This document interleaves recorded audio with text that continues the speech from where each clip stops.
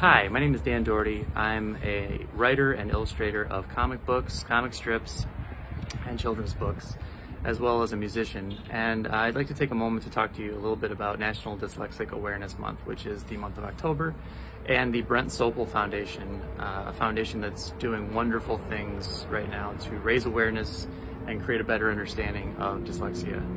Uh, while I'm not personally uh, dyslexic, I have had uh, moments in my life where uh, people very close to me uh, confided in me that they were uh, after sometimes decades of knowing them.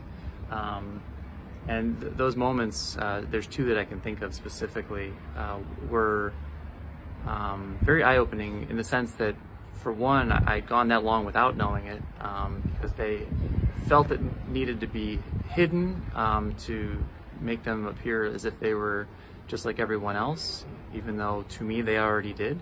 Um, and two, that they that they were carrying this secret alone um, when they really never had to. I understand why we all, you know, feel like we want to keep certain things we perceive as weaknesses to ourselves, but the reality was is that if they had never told me, I would have never known.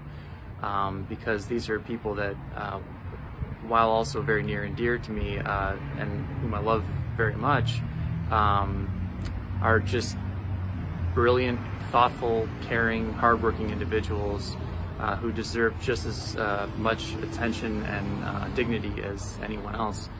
So um, I'm really glad to know that there's a, a, foundation like the Brent Sopel Foundation that is working to raise awareness, uh, normalize, and to create a better understanding for dyslexia.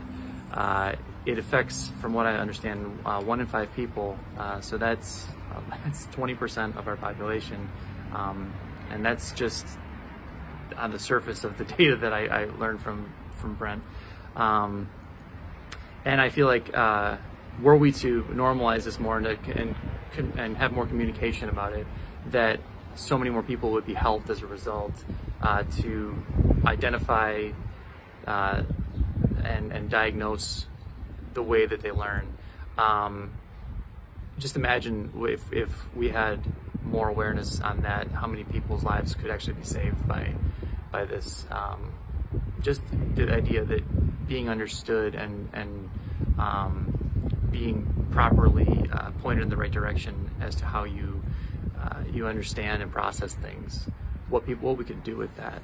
So uh, if you get a chance uh, and you're interested in the subject, or even if you've never really thought about it but you want to learn a little bit more about something, check out the Brent Sopel Foundation. Uh, they're doing a lot of great work right now, and um, and you know see what they have to say. Uh, like Brent says, you're not alone.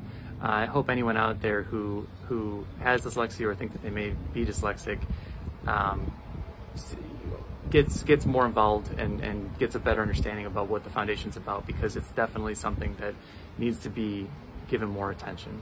Thanks a lot. You have a great day.